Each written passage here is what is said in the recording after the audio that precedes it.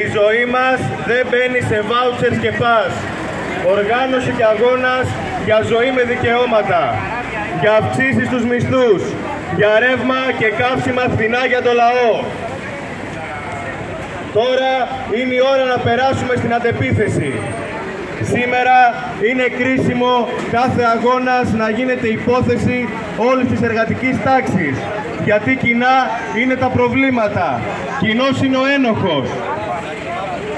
Είναι όλες οι μέχρι τώρα κυβερνήσεις που συνεχίζουν την αντιλαϊκή πολιτική εκεί που τη σταμάτησε ο προηγούμενος.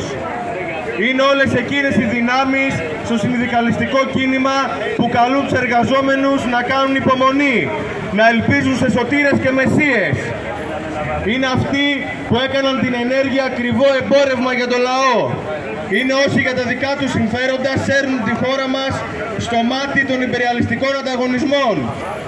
Είναι όλοι όσοι μιλάνε για αγωνιστικότητα, ανάπτυξη για όλους, συνένεση, εργασιακή ειρήνη και την ίδια ώρα ανοίγουν το δρόμο για να παγώσουμε το χειμώνα, για να κινδυνεύουν τα σπίτια μας από τους τραπεζίτες, για να μην μπορούμε να εξασφαλίσουμε ούτε τα βασικά για τις οικογένειές μας.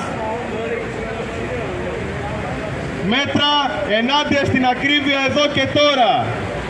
Απαιτούμε γενναία μείωση και πλαφών στη τιμή του ηλεκτρικού ρεύματος κατάργηση του ειδικού φόρου κατανάλωσης και του ΦΠΑ σε πετρέλαιο, βενζίνη, φυσικό αέριο και ηλεκτρική ενέργεια. Καμία διακοπή ρεύματος σε όσους δεν μπορούν να τα αποκριθούν στους υπέροχους λογαριασμούς.